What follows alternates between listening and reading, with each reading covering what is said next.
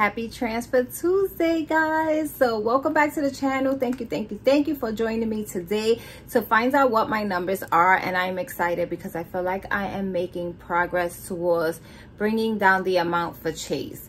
While i'm also putting money towards my student loans i'm going to be giving you guys what i've what payments i've made towards uh chase from last tuesday to this tuesday and i'm also going to give you a total number of how much everything, like what's the difference between um, July 27th to August 27th on the amounts that I did make payments towards any debt that I have, right?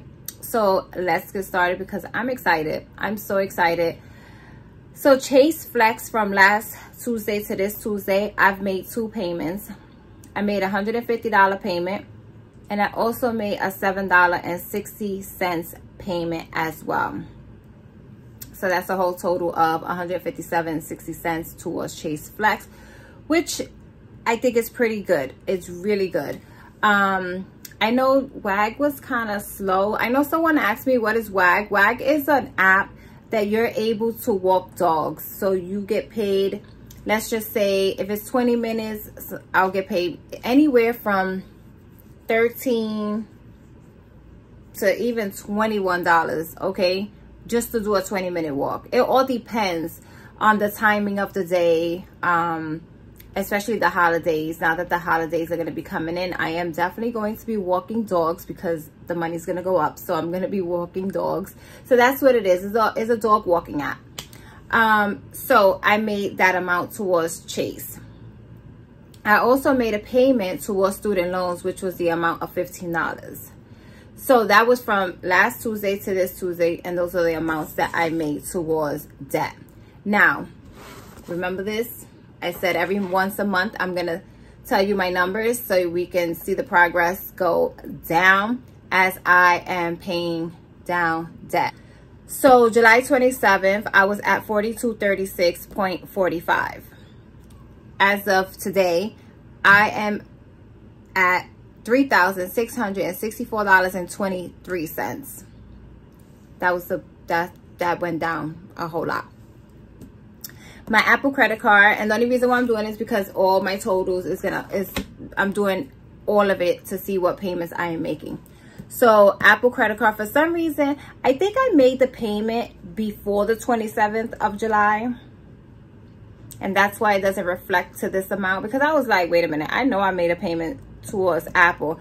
But I did. I, if I'm not mistaken, the way I'm looking at it, which I didn't check, but the way I'm seeing it is that I made the payment before July 27 because my Apple credit card is due on the 30th of every month. So I made an early payment. That's what happened. So it didn't reflect here. So my Apple credit card is at $1,456.68 for as of today.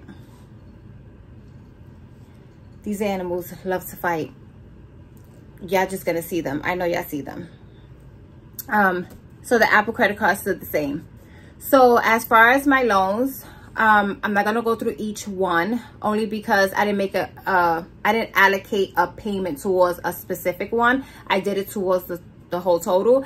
So my total um, now for, well, my total was for student loans was 11,400 right and $65 yes $65 now my student loans is at $11,450 so the total now for my debt as of today is $16,570.91 so I've paid so far in a whole month $587.17.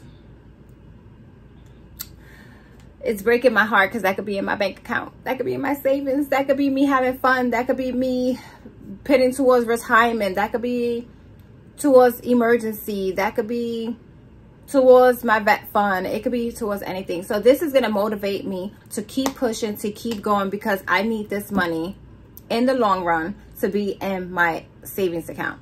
That's where this money needs to be, not paying someone else. So that is where I'm at today. If anything, guys, I see you guys next Tuesday. And for the total grant of my debt. I'll see you guys next month for the total number on how much I am down in debt. So thank you guys for joining me. I hope you guys do um, enjoy my videos. If you guys do, please give me a, thumbs up on your way out. Don't forget to subscribe and I will be seeing everyone in my next video.